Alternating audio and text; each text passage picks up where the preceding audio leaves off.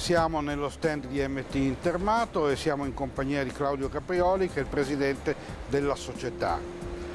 Ingegner Caprioli, può spiegarci per cortesia come mai questo bello stand è senza macchine, anche se supponiamo di sapere un po' il motivo di questa assenza. L'IMT produce una gamma di macchine che sarebbe particolarmente difficile rappresentare in una fiera perché partiamo da macchine per produrre componenti del settore automobilistico come pistoni, quindi pochi millimetri, parliamo di circa 100-150 mm di diametro tornibile, arriviamo a pezzi che superano i 6 metri di tornibile.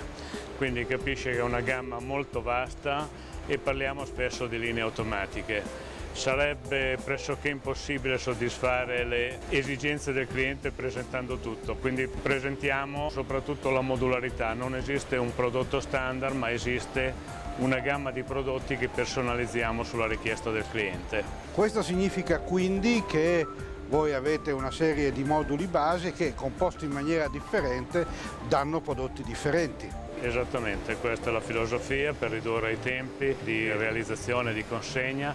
Esistono dei moduli standardizzati che vengono composti e si può risolvere le esigenze del nostro cliente. Immagino che una parte consistente della vostra produzione sia ormai legata alle linee automatiche, ma quanto conta ancora la parte di macchine stand alone? La parte della linea automatica è prioritaria e maggioritaria nel settore dell'automobile perché i numeri e le lavorazioni 7 giorni e 24 ore portano all'utilizzo di sistemi ovviamente automatici di produzione. Su altri tipi di produzione spesso i sistemi sono semiautomatici, quindi palettizzati per guadagnare nei tempi di carico-scarico, combinati per abbinare tornitura, fresatura, eccetera, ma spesso non possono essere automatizzati per le dimensioni del pezzo.